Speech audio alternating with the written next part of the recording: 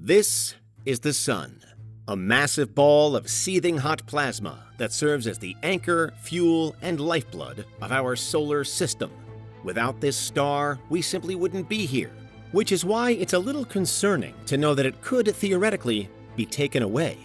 This is Unveiled, and today we're taking a closer look at a bizarre cosmic prophecy, exploring how aliens could steal the sun. Do you need the big questions answered? Are you constantly curious? Then why not subscribe to Unveiled for more clips like this one and ring the bell for more thought provoking content? The sun never stops. The relentless fusion that's happening inside it continuously releases vast amounts of energy, providing warmth and light enough to sustain life on Earth. The mass is also key, though, with the sheer presence of the sun being what governs the movements of celestial bodies throughout our corner of space. Planets, moons, asteroids, even individual specks of solar system dust. It's all guided through the cosmos by the sun. To even contemplate it one day getting stolen seems at first kind of absurd, but actually it's a prospect that might not be entirely science fiction. Because when it comes to hypothetically advanced extraterrestrial civilizations that could be out there, perhaps nothing is impossible. Today, we'll explore the significance of our sun, discuss the possible methods through which an alien civilization could genuinely acquire it, examine their potential motivations for such a grand and dastardly endeavor, and consider whether humanity could ever hope to respond. The Sun at the center of our solar system is a G-type main sequence star, also known as a yellow dwarf. It's composed mainly of hydrogen and helium and generates energy through nuclear fusion, fusing hydrogen into helium inside its core. The colossal amounts of energy produced during this process radiate out into space as light and heat, which, among other things, provides the conditions needed for life on Earth. The sun powers our climate and photosynthesis, enabling the growth of plants, which serve as the base of the food chain. Meanwhile, the immersive gravitational pull keeps everything held together and orbiting in a stable way. Of course, the sun is also our cosmic timekeeper, the day-night cycle, as well as the seasons, are determined by its position in the sky and are essential to how all ecosystems work and to the general organization of human society. And finally, the sun serves as an invaluable reference point for astronomers. Obviously, it's the closest star we have, and understanding its evolution could be key to understanding the rest of the universe. Clearly then, the sun is a hot property, so much so that there have been rumors and alternate claims already that a watching alien race may well be eyeing it up for their own needs. In the years 2012, 2016, and 2022 especially, reports emerged that UFOs had been spotted seemingly siphoning fuel away from the sun as part of some kind of perceived deep space pit stop. In all cases, the much more likely explanation is that telescopes and cameras had captured a particularly energetic solar flare rather than a pilfering alien. But with the reemergence of models such as the Kardashev scale, some do feel that our star might one day be targeted by any kind of K2 civilization or above. So why and how would they do that? As to why, there are a number of potential reasons. The first and most obvious is energy scarcity. To us, the sun is everything. But to a hypothetically more advanced group than us, it would represent just the latest source of energy that's available to them. Something like a battery that you find in the back of a drawer, only in this case the sun is the battery.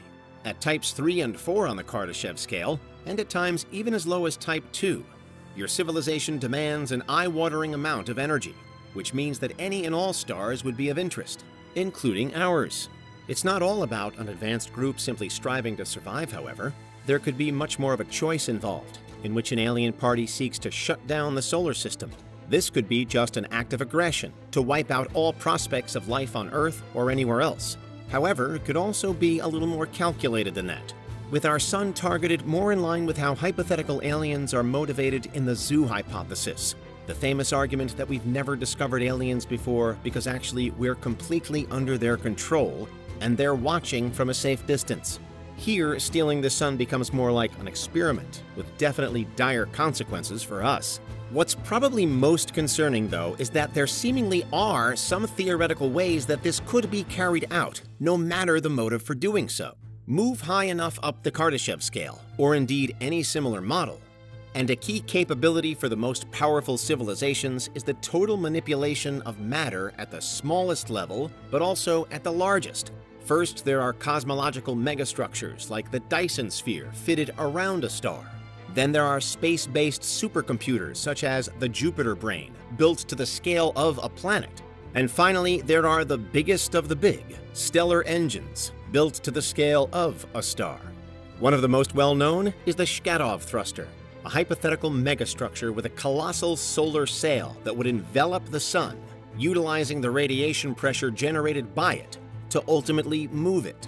A Shkadov thruster can be employed fast or slow, moving stars so that they effectively disappear within seconds, or else slowly and methodically inching a star out of place to avoid attracting attention.